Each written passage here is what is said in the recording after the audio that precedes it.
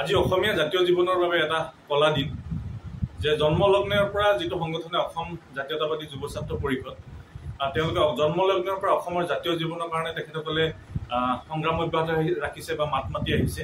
যে অসমৰ ছাত্ৰ ছাত্ৰীসকলৰ শৈক্ষিক ভৱিষ্যতৰ কাৰণে এটা ন্যায্য প্ৰাপ্তিৰ দাবীত তেওঁলোকে আজি আন্দোলন কৰিবলৈ যাওঁতে অসম জাতীয়তাবাদী যুৱ ছাত্ৰ পৰিষদৰ সন্মানীয় সম্পাদক পলাশ শৰ্মাই ডাঙৰীয়াক তেখেতক অসমৰ পুলিচ বাহিনীয়ে তেখেতক এৰেষ্ট কৰিছে। ইয়াতকৈ আৰু লজ্জাজনক বিষয় একো হ'ব নোৱাৰে। হিমন্ত বিশ্ব আহ, শৰ্মাৰ নেতৃত্বাধীন অসম চৰকাৰৰ বাবে অত্যন্ত লজ্জাজনক বিষয়।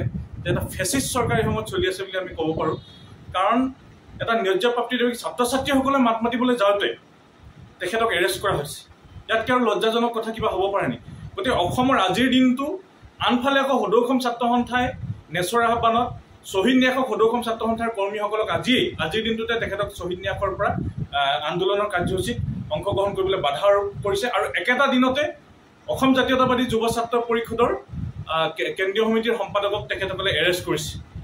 গতিকে অসমৰ সংগ্ৰামী ইতিহাসৰ বাবে অত্যন্ত এটা গৰ্হিত আজি দিন অত্যন্ত লজ্জাজনক দিন আৰু অসমৰ জাতীয় জীৱনৰ বাবে অসমৰ জাতীয় জীৱনৰ বাবে এটা অত্যন্ত কলা দিন বুলি আজি বিবেচিত হৈছে। কাৰণ সংগ্ৰামৰ অসমীয়া সংগ্ৰামৰ সংগ্ৰামৰ ইতিহাসত এনেধৰণৰ ঘটনা হোৱা নাই।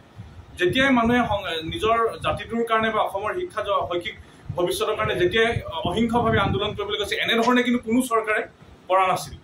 গতিকে আমি আজিৰ এই কাৰ্য আজিৰ এই ঘটনাটোক আমি পলাশ চাংমাই ডাঙৰীয়াক যে এৰেষ্ট কৰিলে এই ঘটনাটোক আমি তীব্ৰভাৱে নিন্দা কৰি